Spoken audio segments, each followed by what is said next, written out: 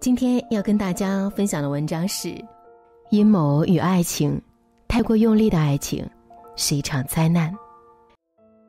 著名情感节目主持人涂磊说：“爱情中真正的悲剧就是痴情与自私相伴，深爱与固执相随。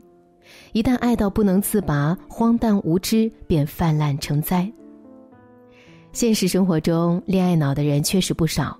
这种人呢，一旦爱上，便不管不顾，往往爱得死去活来、惊天动地。其实，世间真正的爱情往往静水流深、朴实无华。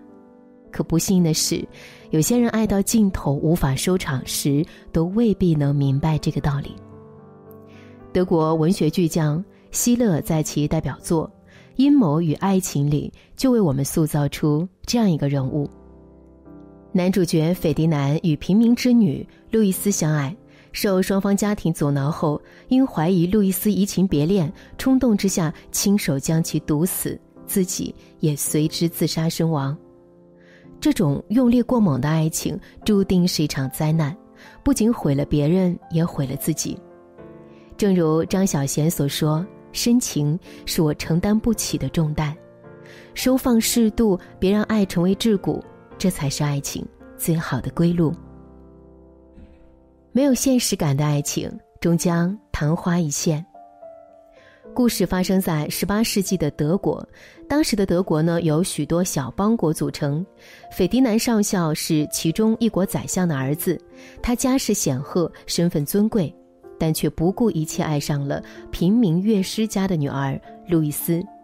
路易斯的父亲害怕自己的独生女儿被权贵玩弄，坚决不同意，甚至下定决心，宁愿拿着小提琴去卖艺讨饭，也不会用我独生女儿的灵魂和幸福去换钱。他不允许斐迪南到他家里来，还打算亲自去请求宰相中断他们的关系。宰相得知这一消息后，好言好语，用大好的前途诱惑劝导斐迪南。毕竟，对贵族阶层来说，婚姻事小，前程事大。宰相早已为斐迪南安排好了政治联姻。可任性的斐迪南根本不听父亲安排，他坚定的要和路易斯在一起。劝说无效后，宰相只好带着一帮人到路易斯家，当着斐迪南的面羞辱路易斯是妓女，还企图抓走路易斯的父亲。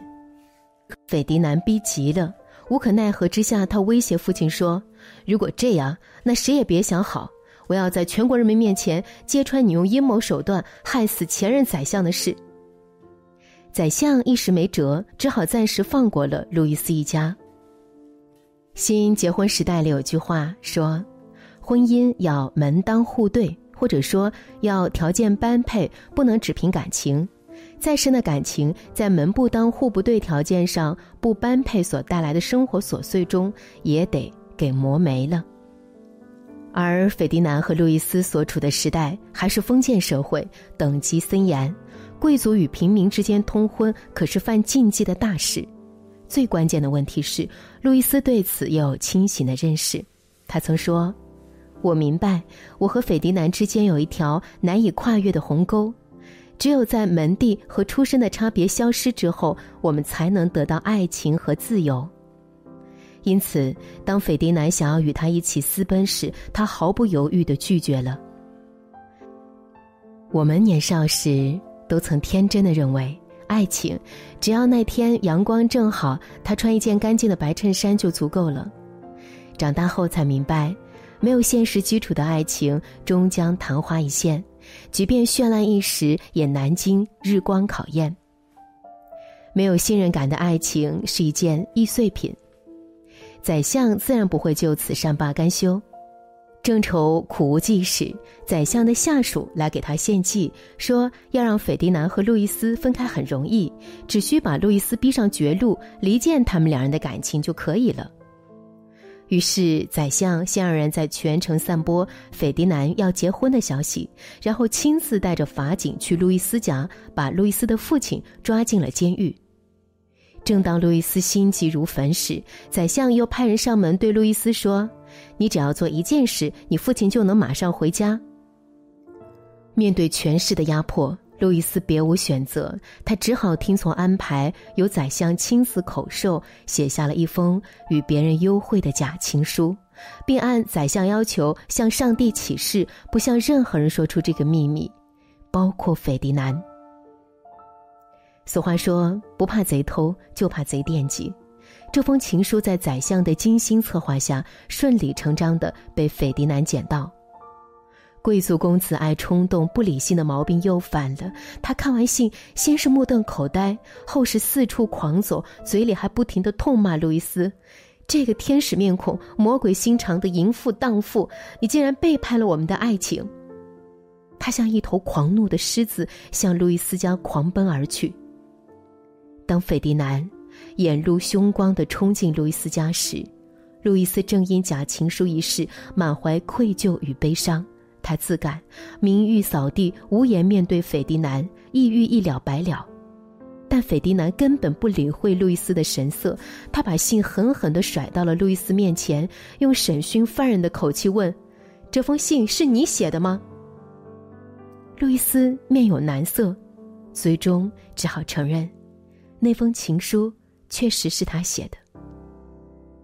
对斐迪南来说，路易斯的难言之隐就是变心的有力证据。他的绝望达到了顶点。爱情，曾经有多美好，现在就有多脆弱。门不当户不对的爱情本身就需要很大的勇气，如果再加上外力搅浑水，那么这份感情能否走下去，考验的就是两个人的信任度和同心力。罗伯顿曾说：“没有什么绳索能比爱情拧成的双股线更精拉精拽。”很显然，斐迪南口口声声说爱路易斯，但他的手中并没有这根精拉精拽的绳索。